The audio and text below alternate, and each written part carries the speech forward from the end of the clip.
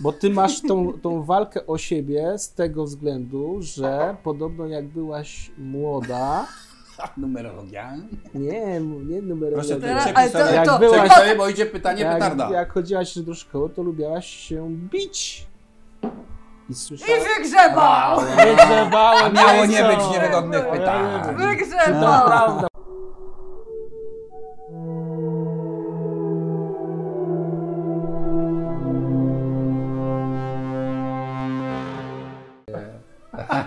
Tak, reżyser. I want to believe, czyli rozmowy niereżyserowane. Naszym i Państwa gościem jest dzisiaj Dorota Domagalska. Witam, do której kamery do tej, Która kamera nie bierze. Która kamera która nie kamera bierze, mi tak. bierze. Witam. E, zaczynamy, z, zaczynamy z wysokiego C, czyli D. Jak domagalska. Z wysokiego C jak, C jak cudowna. Tak. Cudowna i C Tak. i domagalska. Dorota Domagalska, czyli twarz e, kobiecej walki z najstraszliwszą chorobą, która jest przypisywana e, kobietom, z którą Dorotka stoczyła niespotykanie bohaterską i zwycięską walkę. Mm. W związku z tym pierwsze pytanie, jak zwykle należy do mnie, to jest taki przywilej wiesz, y, tego programu. Jak to się stało, że zgodziłaś się wystąpić y, w takiej sytuacji, w której byłaś, bardzo, bardzo przykrej, bardzo obciążającej, trudnej, jak dla Ciebie i rodziny, Mhm. i zdecydowałaś się wystąpić e, jako postać z kalendarza. Ja może Jak to się stało? A ja pokażę ten kalendarz. Nie? Em, poznałam się z Agnieszką Goldą, która e, była pomysłodawczynią tego kalendarza. Zadała mi pytanie, bo sobie, nie wiem, stwierdziła, że jestem młoda, atrakcyjna. Nie, 5 minut przemyślane i się zgodziłam. Jeśli 5 minut podejmowałaś decyzję, 5 minut podejmowałam decyzję. powiem Ci to e, hard ducha, równie wielki jak, jak uroda, prawda? Nie no, Dałaś mi radę. tak jeszcze. Nie? Dałaś radę. Nie, nie, naprawdę nie, krótko to trwało. Wiesz, parcie na szkło, parcie na, y, wiesz, na... Nie. W tym pokoju jest, jest tylko dwóch facetów, którzy mają parcie na szkło. Ty wydajesz Nie, się nie, jest bardziej jeszcze- jest skromna. jeszcze taka jak- tak? jak ja, nie, to Przewyższasz. No, no myśmy kalendarze ze sobą jeszcze nie zrobili. Może to i dobrze. Kto by to kupił, proszę Cię. Akcja bardzo szczytna, a podkreślam, sytuacja dla Ciebie wtedy była bardzo trudna.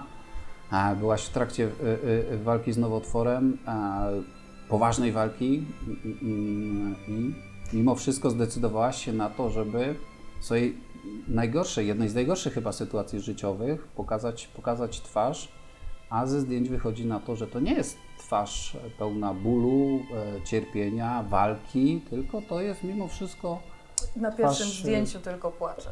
To jest ból Mhm. na początku. To Mhm. jest... Doprowadzili mnie do płaczu. y, Kto cię doprowadził? No Jung to, no. Jung to? Tak. O, Opowiedz. O, ten- Opowiedz, jak to było na O, początku. ten łobuz. Ale to, te początki są najgorsze zawsze, ale potem to już był tylko śmiech. Jung to był najlepszy, jak e, TVP przyjechało i opowiada, no poznałem Dorotę, no przyszła Dorotka do nas, kompletny oszołom. nie wiem, czy Mimo- słyszeliście, Nie, nie, słyszeliście, ale- kompletny oszołom. Taka Pomimo jest. sytuacji, w której się znalazłaś, to Byłam oszołomem. Dalej. No ale to trzeba mieć niesamowitą odwagę, żeby takie zdjęcia pokazać w kalendarzu. No na mnie to nie robi wrażenia. Nie robi to na no. ciebie wrażenia? Nie. Ale myślę, że, że z tych wszystkich e, dziewczyn e, chyba tylko ty się zdecydowałeś na to, żeby tak e, wyeksponować swoją niepełnosprawność, no bo to jednak dla kobiety pokazać nie, nie w pełnej krasie, tylko z, z, no, z, z wadą, tak? Mhm. E, Z, z odjętą piersią, to jest, e, to jest, trzeba być bardzo odważną. Może powiem tak, e, to była moja druga choroba, drugi raz, Mhm. po sześciu latach.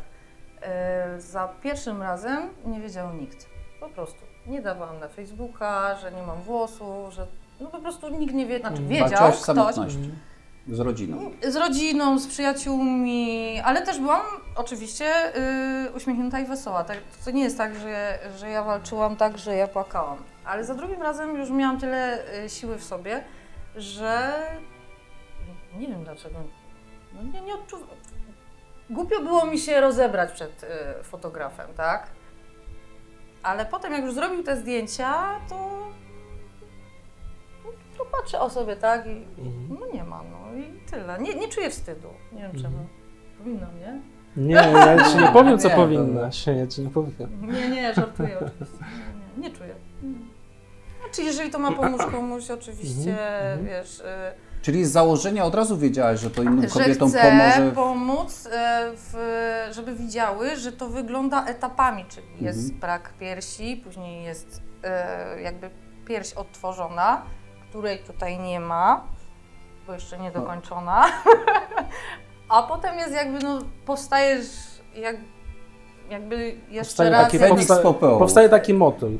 Tak. Piękny, kolorowy na, na, na, na miesiącu kwietniu. Kwiecień. Jeszcze w peruce? Czy to już Co są ty? twoje To są moje To już twoje włosy są? Kręcone miałam afro takie, że daj spokój. Dalej mam końcówki, bo jeszcze nie obcinałam, ale ogólnie takie Jesteś, jesteś dzielną niewiastą. Zgadzasz się z tym stwierdzeniem? No jestem dzielna. Myślę, no. Bo idea, idea kalendarza, której autorką, pomysłodawczynią jest Agnieszka Agnieszka. Golda, jest taka, aby podnieść na duchu Amazonki, dziewczyny, które przeszły, tak jak i ty, chorobę nowotworową. Tak. E, I to jest kalendarz e, z, z wieloma dziewczynami, które tak jak ty e, walczyły z chorobą, pokazują się w, w pięknych, kolorowych kostiumach na kolejnych kartach.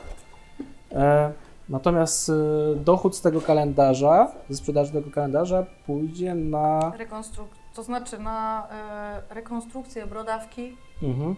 e, na usuwanie blizn na tej zasadzie, czyli Czyli też e, Wsparcie, wsparcie dla Amazonek, Amazonek. które po amputacji piersi wymagają, aby te piersi doszły do takiego.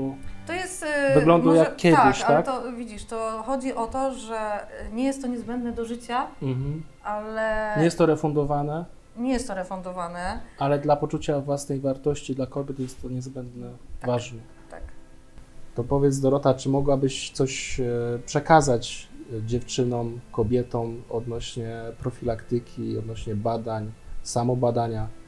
Ja myślę, że to jest e, jakby w telewizji, w internetach, cały czas o tym się mówi, tak? Badaj się kobieto, bo jeżeli tego nie będziesz robić, to może być za późno. I to jest właśnie na tej zasadzie działa. No ja sobie wybadałam sama guza i, e, i w, w sumie to moja Ania mnie tak jeszcze popchnęła. Ania, siostra, siostra. siostra, siostra.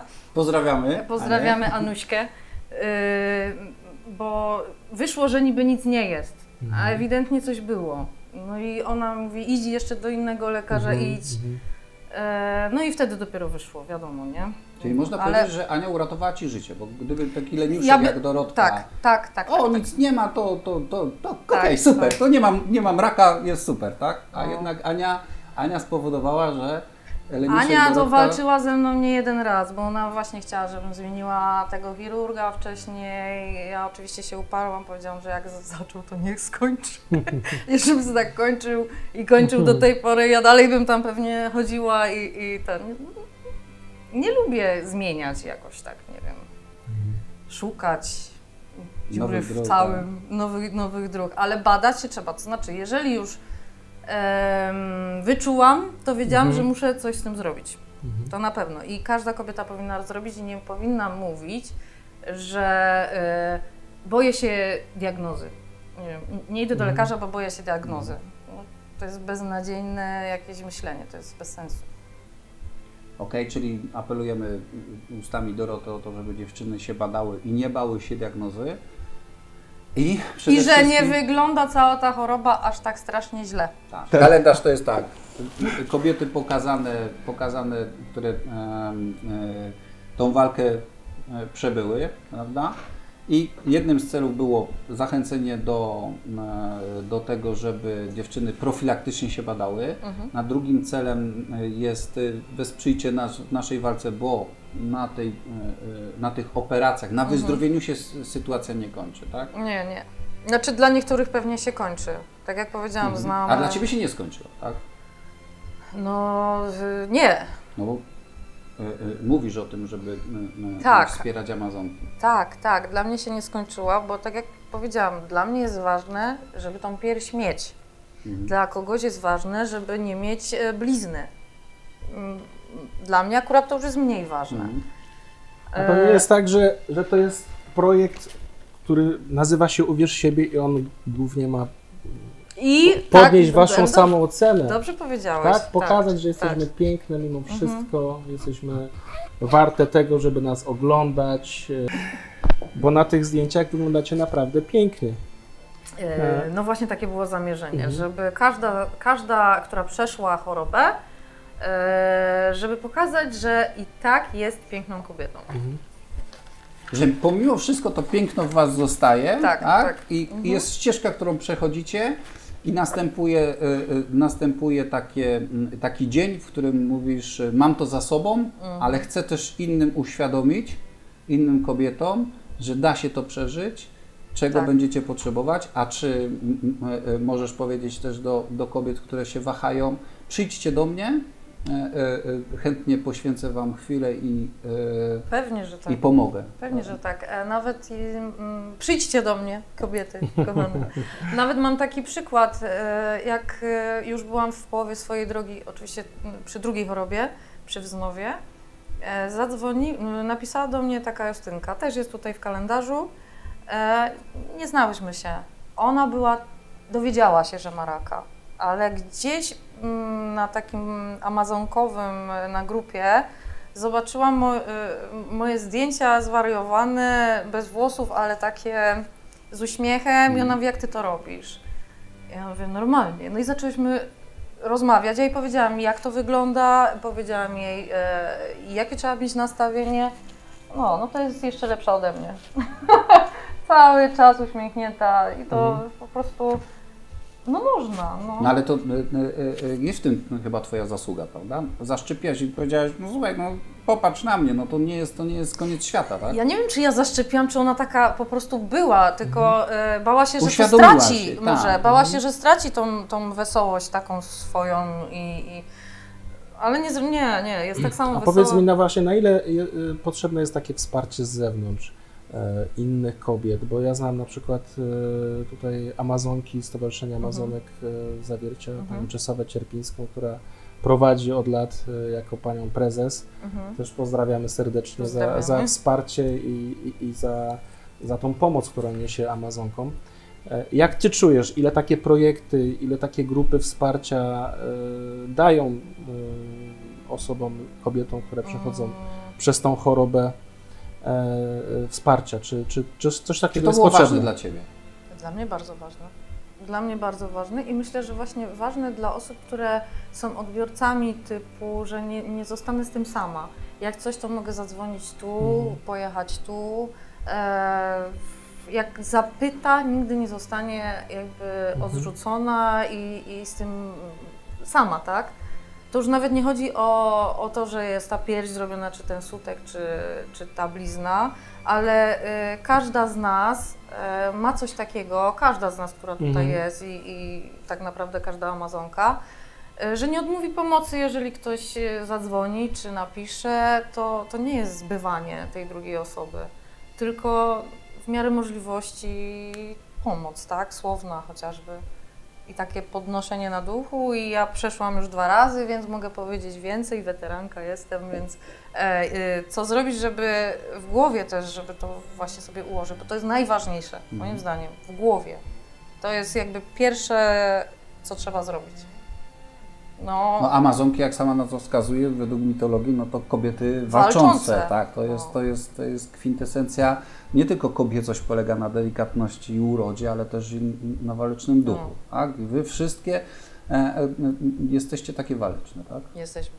W rehabilitacji, czy w Twoją walkę z chorobą zaangażowało się wiele osób, prawda, bo była e, Ania zorganizowała zrzutkę, no jednak, No. jednak, e, e, jednak wiele osób okazało Ci serce, nie tylko serce, wiele osób okazało Tak. Ci wsparcie finansowe. No piękne, bo ciężko znaleźć, wiesz, e, odzwierciedlenie w tego w społeczeństwie, prawda? No, y, y, y, bardzo jest dużo zrzutek, prawda? Ale jak, jak, się, jak się chce naprawdę pomocy, to ciężko uzyskać. Tobie się udało.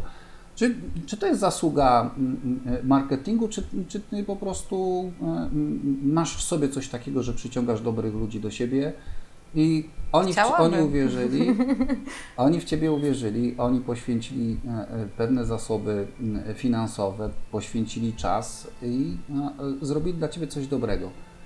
Jak byś mogła powiedzieć innym dziewczynom, które, e, które też takiego wsparcia potrzebują, jak to się robi? Wystarczy być dobrym człowiekiem, fajną dziewczyną? Nie wiem, co odpowiedzieć na to pytanie, bo yy, koleżanka też, koleżanka jakaś tam znajoma też próbowała tą zrzutkę zrobić i jej się tak nie udało jak mnie. Yy, Nie miała takiego marketingowca jak ty. yy, nie miała takiej siostry. No, moja siostra zrobiła tutaj wielką robotę. W ogóle zorganizowała zrzutkę, dopiero mi się zapytała, czy może. Znaczy, znaczy tak na, na ostatnią Anka. chwilę. No. Aniu, pozdrawiamy jeszcze raz serdecznie. Mogę, a ja akurat po chemioterapii. No, no dobra, no. No bo twój przypadek wymagał jakiegoś, jakiejś specjalnej terapii, wysokich Yy, nakładów finansowych nierefundowanych To znaczy, tak to dalej, było no. tak, dlatego była ta zrzutka, bo e, każdy mógł sobie wziąć kredyt, nie wiem, tylko to trwa. Mhm. A to trzeba było zebrać Tu i teraz. tu i teraz. A e, jedna dawka kosztowała tam 20 12 tysięcy, tam minimum e, 6 dawek, znaczy minimum 4, potem on powiedział, że jakby było 6, to by było dobrze, więc e, na 6 dawek chyba jakoś zebraliśmy już. Ja mam sklerozę, więc No ale tego- okej, no, Anka, moja w jest, An- wszystkie, An- wszystkie papiery, wszystko to moja Aniu, w siostra. komentarzu możesz napisać, e, Ale w jak się każdym to razie robi. to jest jakiś lek antynowotworowy, tak? Tak, tak, tak. Ale czekaj, Który jest specjalny, dedykowany twojemu typowi nowotworu. Tak, tylko że e, nie łapałam się na refundację, Mhm. ponieważ to była już wznowa.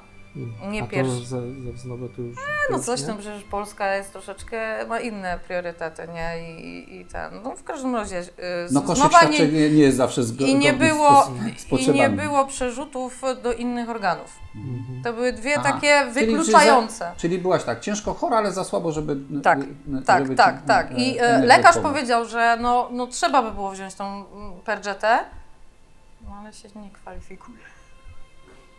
To jest Także- okazja, żeby To- podziękować wszystkim tym, Bardzo którzy... i właśnie chciałam powiedzieć, wsparli. że nie, nie, nie, nie, nie miałam okazji podziękować każdemu e, e, za to wsparcie i muszę powiedzieć, że jak ja widziałam jak to rośnie, to ja wyłam po prostu. Tak płakałam, że e, nie mogłam w to uwierzyć, że to tak szybko rośnie.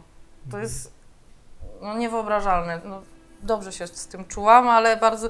I głupio mi teraz na przykład jest też, nie? Powiedz, jak się zmieniło Twoje życie po przebyciu nowotworu? E, Czy, e, bo odzyskałaś siłę, promieniejesz, e, wyglądasz kwitnąco, ale czy to, czy, czy nowotwór to jest tak, że on zawsze będzie towarzyszył Tobie, czy to, czy to jest ta świadomość, że trzeba brać jakieś leki, oszczędzać się, jak, jak Ty z tym żyjesz? Do końca życia chyba, e, jak mnie szczyknie tu, tam, siam, to będzie oku, a znowu, znowu trzeba i zobaczyć. E, Nawet jak mnie szczyknie gdzieś e, w biodrze, mówię, kurwa, na pewno przerzuty do, do kręgosłupa albo do kości. Zawsze, zawsze je, obawa. będzie jakby ta, to myślenie. No, no i leki tak samo będą zawsze. Nie? Znaczy nie zawsze w sumie, no ale w moim przypadku przy wznowie, pierwsze, pier, przy pierwszej chorobie 10 lat, teraz wznowa, nie wiem, następne 10, więc e, nie wiem ile pożyję, ale jeszcze z 10, no to nie, no nie wiem, nie wiem, nie mogę powiedzieć czy do końca życia, ale e, w głowie na pewno ta choroba zostanie do końca życia. A zmieniło się Twoje myślenie, coś takie, powiedzmy, na takie chwytaj dzień, nie ma co planować za, za długo, trzeba żyć e, życiem tu i teraz, mniej pracować, Mhm. więcej odpoczywać. Tak, e, zmieniło się. Zmieniło się, że jest, e, tak jak powiedziałam, jestem typem leniucha.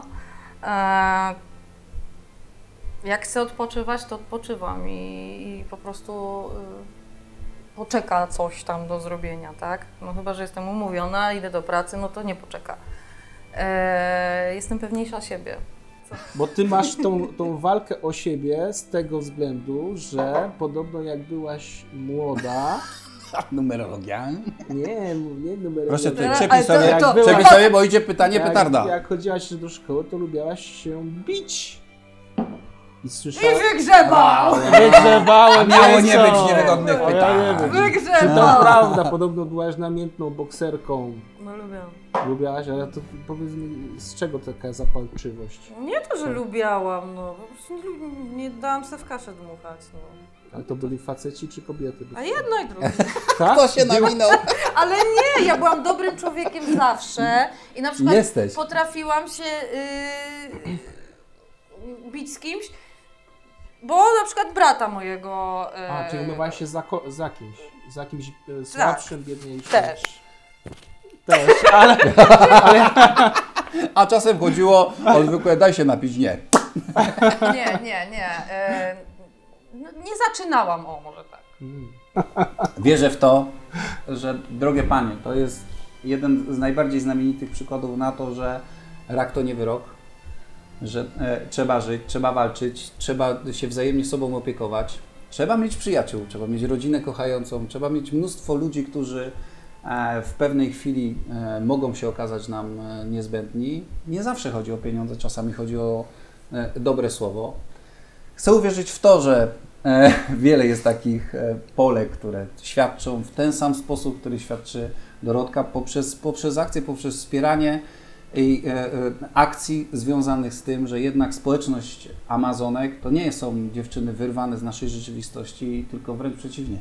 To są najwspanialsze przykłady naszej rzeczywistości. To są najwspanialsze dziewczyny, które jednemu facetowi mogłyby powiedzieć prosto w oczy, Mam nie- większe jaja. tak jest.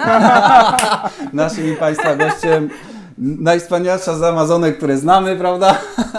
Cudowna, waleczna Dorota, Dorota Domagalska. Domagalska. Dziękujemy za wizytę. Dziękujemy. Dziękuję bardzo. Dorotko, wielka to dla nas przyjemność. Dziękujemy. Dzięki. Ale przecież każda taka operacja to nie jest tylko zabieg chirurgiczny, tylko poważna operacja. Ona się Tak, wiąże z normalnie. bólem, z pobytem w szpitalu, z sączkami, e, z, tym, e, I z, z- niewygodą. To jest trzy tygodnie rehabilitacji, żeby normalnie Tak. funkcjonować po każdej operacji. Ty mimo wszystko e, e, e, e, Mam być szczera? no, Ja sobie to zawsze. tak powiedzieć, że jestem nienormalna, ale zawsze jak miałam iść, to mówiłam, ale sobie odpocznę. No to, w to akurat nie uwierzę. Naprawdę! Ale sobie odpocznę. No nie nikt, wiem, no, nie, nikt ode mnie nic Panie nie reżyserze, to wycinamy. No nie no! Przekazem nie może być, że Dorota Domagalska robiła piersi ze, ze względu na lenistwo. No nie, no nie, no nie tak. Ale, No, nie, ale nie, byłaś, tak ale byłaś szła. bardzo zapracowaną osobą. Znaczy, no ale chodzi mi o to, że nikt do mnie nie będzie gadał, nikt do mnie nie będzie ode mnie nic chciał. Jestem leniem, a, a tam po prostu mogłam cały czas spać, nikt mnie nie budził. Mam jeszcze y, płuca narażone. Je- Na nowotwór, je- tak? Jelito. Chyba bym sobie musiała wszystko powycinać. Jelito se wytnę. Bo to Nie, mam nie, najbardziej narażone. Ale szkoda, że nie powiedziałaś o suplementacji. Ty, No, wytnę se jelito, odpocznę.